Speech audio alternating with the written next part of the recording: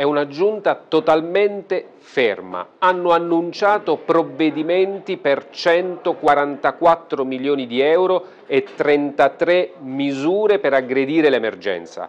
Hanno voluto provocatoriamente chiamarle norme cura Abruzzo, il risultato è che dei 144 milioni di euro solo 12 milioni sono arrivate nelle tasche dei cittadini e per altri 10 si è attivato un fondo rotativo di 5 mesi per i consorsi di bonifica.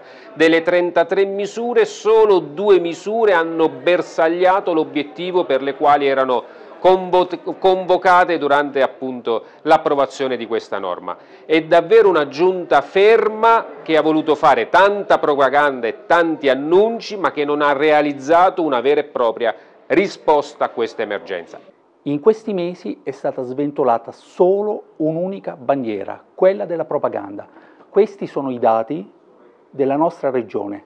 Tante promesse, pochi fatti, nessun fondo arrivato nelle tasche dei cittadini abruzzesi, ma soprattutto hanno intitolato queste leggi al cura Abruzzo.